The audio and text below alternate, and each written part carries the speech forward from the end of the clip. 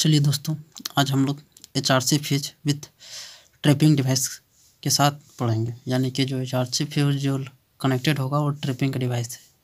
अब, ये tripping device होता क्या है? ये ट्रिपिंग डिवाइस जो होता है वह सर्किट ब्रेकर से कनेक्टेड होता है। यानी कि जब फ्यूज उड़ जाता है, यानी मल्ट हो जाती है तो ये ऊपर की ओर चला जाता है, जिसके कारण सर्किट ब्रेकर ब्रेक कर देता है। यानी कि एक तरह का ये सर्किट ब्रेकर ही ऑपरेशन है। तो चलिए आज हम लोग देखते हैं कि किस तरह से होता है।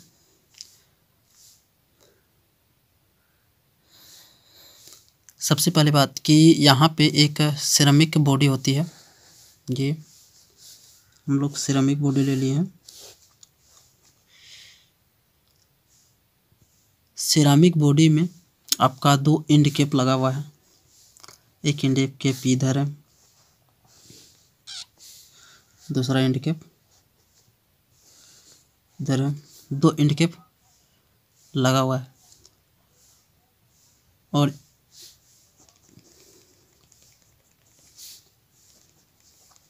ये इंड कैप के साथ आपका प्लगर है, ये आपका कनेक्टेड है, यानी ये प्लगर आपका सर्किट ब्रेकर से कनेक्टेड हुआ यहाँ पे सर्किट ब्रेकर आपको लगा हुआ है, ठीक है? उसके साथ ये प्लगर लगा हुआ है।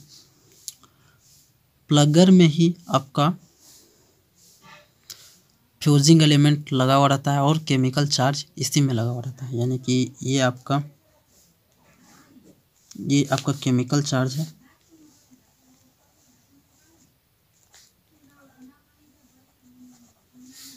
और ये हमारा फ्यूजिक एलिमेंट है। अब इसी में हमारा टंगस्टन एलिमेंट, ये लगा हुआ रहता है। ये है हमारा टंगस्टन एलिमेंट।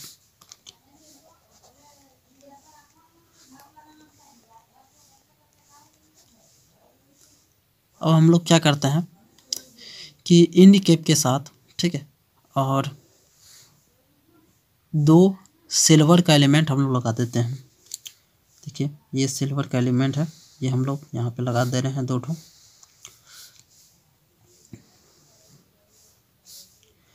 ये दो सिल्वर एलिमेंट।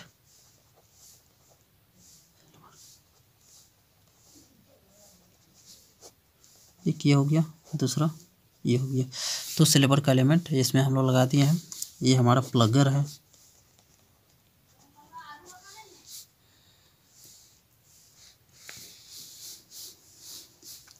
ये हमारा कंस्ट्रक्शन है। आपका, ये ट्रिपिंग डिवाइस ट्रिपिंग डिवाइस क्या होता है कि जब हाई करंट फ्लो होने लगता है तो ये अपर की ओर मूव कर जाता है सर्किट ब्रेकर इस तरह से सर्किट को ब्रेक कर देता है। ये इसका मेन काम होता है। ठीक है, इसलिए इसको इसको ट्रिपिंग डिवाइस हम लोग करें।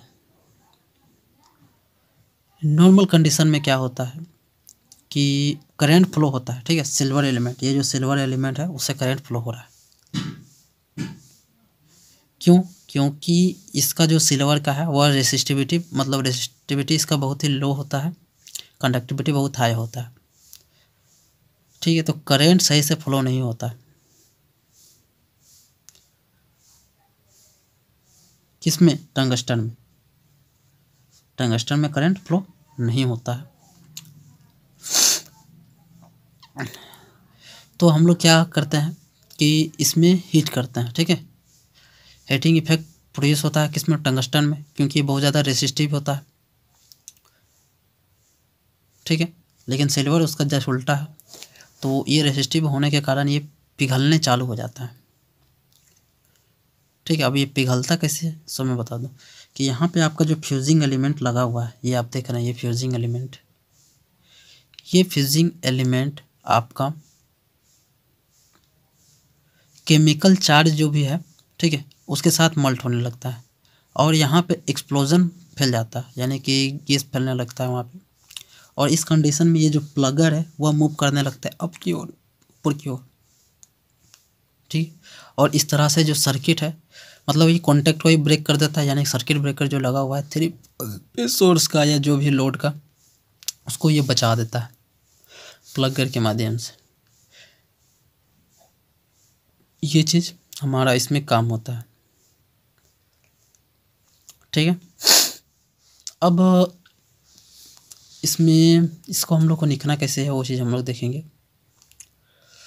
तो लिखने के लिए हम लोग क्या करेंगे, सो सिंपली आप देख लीजिए कि पहले इसका कंस्ट्रक्शन के बारे में लिखेंगे, कि कंस्ट्रक्शन बना हुआ किस तरह से है, उसके बाद इसका ऑपरेशन के बारे में लिखेंगे।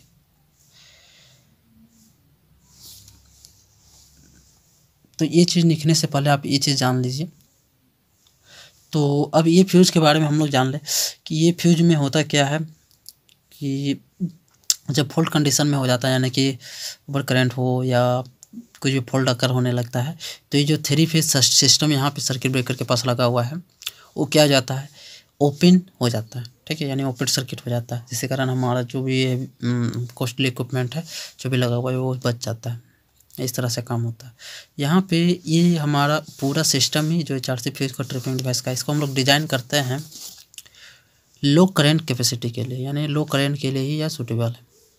ठीक है? हाई करेंट के लिए यह नहीं है सूटेबल और यहाँ पे ये जो सर्किट ब्रेकर है, वह सस्ता होता है। ठीक है? इसलिए हम लोग यहाँ पे यूज़ करते हैं इसको।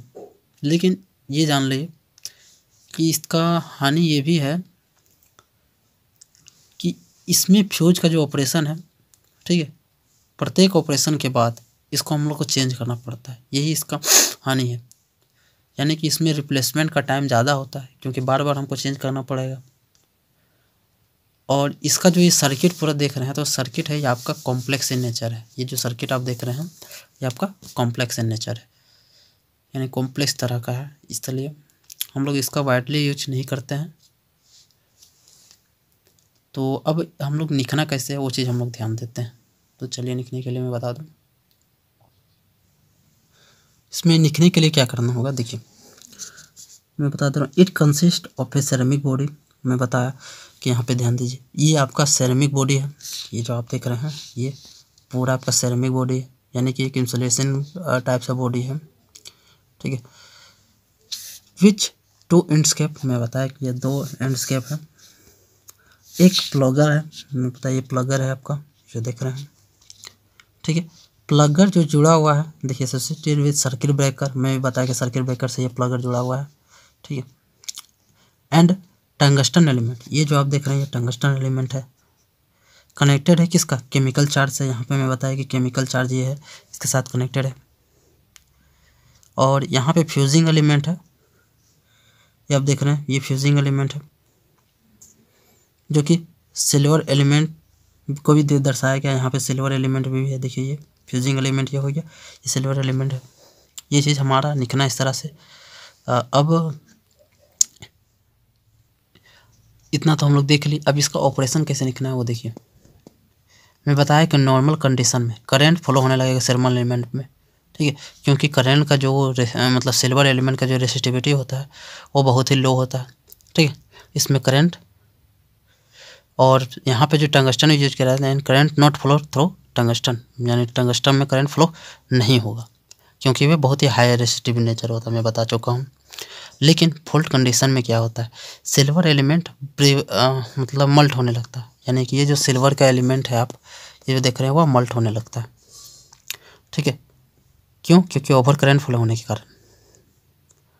और करंट ट्रांसफ़र होने लगता है किसमें ये जो टंगस्टन का एलिमेंट आप ये जो देख रहे हैं ठीक है, इसमें ट्रांसफ़र होने लगता है।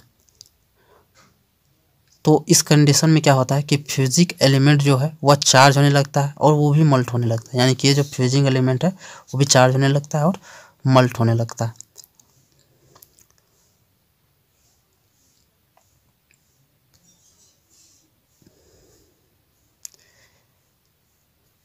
तो क्या होता है, इसमें फिर एक्सप्लोजन हम लोग को हो जाता है एक्सप्लोजन मतलब यहाँ पे जहरीला गैस निकलने लगता है बाहर, ठीक है? और इस कंडीशन में जो ये प्लगर है, ये जो आप प्लगर देख रहे हैं, ये प्लगर ऊपर की तरफ़ मूव करने लगता है, ठीक है? और सर्किट को ब्रेक कर देता है। और इस कंडीशन में जो सर्किट ब्रेकर है, वह ब्रेक कर देता है सर्किट को, और थ्री फेस जो सोर्स है या लोड है, या कुछ भी आपका जो इक्विपमेंट लगा हुआ है वो हमारा प्रोटेक्ट हो जाता है। तो यही इसका मेन वर्किंग है। यानी कि अगर हम लोग फिर से एक बार फिगर से देखें तो फिगर में क्या है देखिए यहाँ। ये आपका दो एंड कैप है, देख रहे हैं। ये आपका प्लगर है, ये आपका केमिकल चार्ज है, ये सिल्वर का एलिमेंट हम लोग दो यूज़ किए हैं दोनों साइड से, ठीक है? तो ये आपका टंगस्टन का एलिमेंट है। ये है, ये सेरेमिक बॉडी के अंदर में रखा हुआ है। नॉर्मल कंडीशन में क्या हो रहा है कि करंट फ्लो हो रहा है इसमें से, ठीक है? और ये अच्छा से ऑपरेट हो रहा है। टंगस्टन में कोई करंट नहीं फ्लो हो रहा है। यहाँ पे फ्लो होता है, ठीक है? और सर्किट कंप्लीट होता है। लेकिन फुल कंडीशन में क्या होता है कि यहाँ से करंट ना फ्लो होकर वह टंगस्टन से फ्लो होने चालू हो जाता है। इसी कारण केमिकल चार्ज जो है, वह फ्यूजिंग एलिमेंट के साथ रिएक्ट करने लगता है और ये प्लगर को ऊपर की ओर मूव कर देता है। इसके कारण सर्किट ब्रेकर जो है, वह आपका सर्किट को ब्रेक कर देता है और ये थ्री फ़ेज़ जो ओपन सर्किट सर्किट लगा हुआ वो ओपन हो जाता है। इस तरह से इक्विपमेंट हमारा बच जाता है। तो ये हमारा इसका मेन वर्किंग है। चलिए दोस्तों थैंक यू